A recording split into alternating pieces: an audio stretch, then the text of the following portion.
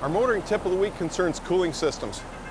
Some of the guys here at Motoring aren't happy about the fact that number of modern cars don't have engine temp gauges, but that's a reflection of A, how good the cooling systems are on modern cars, and B, the fact that those vehicles that don't have temp gauges definitely have an over temp light, a red light that comes on to warn of engine over temp. In some cases that light will flash, and in other cases there's vehicles with a driver information center with extensive driver updates on problems like that should you encounter them. And some vehicles even have an an adaptive strategy electronically to deal with a total loss of coolant.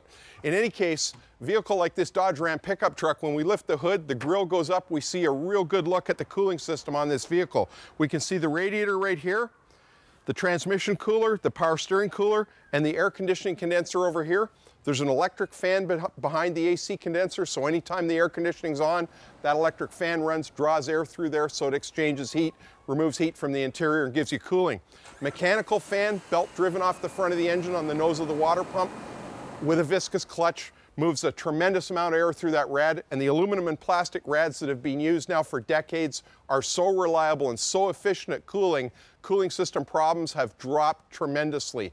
We've also got long life coolants in modern cars. Make sure you've got the right coolant for your car, and you need to be proactive. Check the coolant regularly, check its level and its condition, and flush it at the intervals. Many cars, five years or 160 or in some cases 240K intervals between coolant changes, but you do need to do it periodically.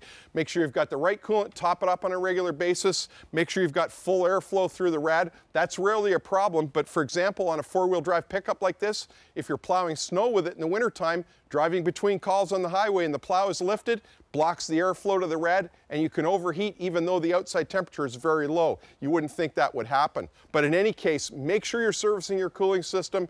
Check the coolant level when it's cold. If it overheats and you have to pull off to a service center, wait till it's fully cold before you look at it and get it serviced on an annual basis to avoid any problems. That's your motoring tip of the week.